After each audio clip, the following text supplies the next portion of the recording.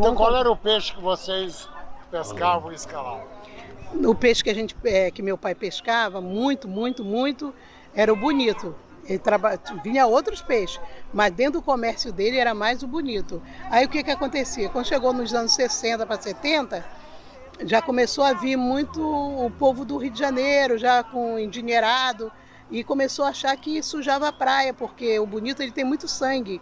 Aí aqui tripa, cabeça, aquelas coisas todas, né? E começaram a criar já uma outra história em cima dessa que, que deixava muito sujo. Aí propuseram meu pai para ele é, fechar a casa ali e ir para outro canto. Aí meu pai, em 68, vendeu a nossa casa, que era na Rua das Pedras. Eu tinha oito aninhos, mas eu lembro até hoje porque minha infância foi cortada, né? Porque o bom era ficar ali na beira da praia com todo mundo, né? Aí nos deram, é, deu a ideia para o meu pai vir para uma lagoa, que é aqui indo para o forno. Aí quando chegou, ele levou tudo para lá. O que ele fazia aqui, ele levou para lá. Só que não deu certo. Não era mais a mesma coisa para lavar os peixes, tudo. Aquela festa que era, era muito bacana, mas muito bacana. Aquela... quantas pessoas? Ah, ele, ele não tinha assim o certo na carteira. É quem queria.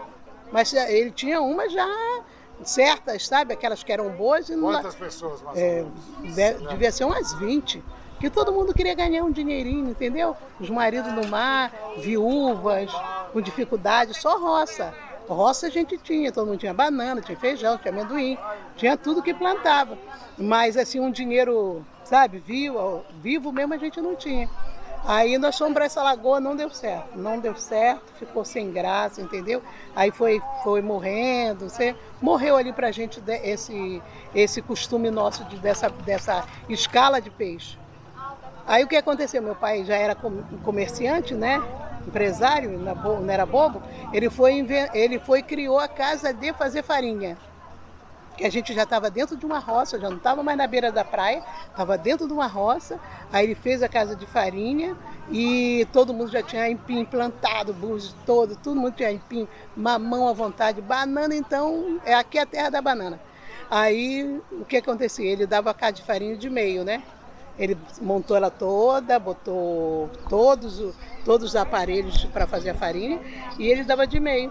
É, assim, fulano de tal tinha um dia para vir. Aí fazia ali, usava tudo dele e ele ficava com a percentagem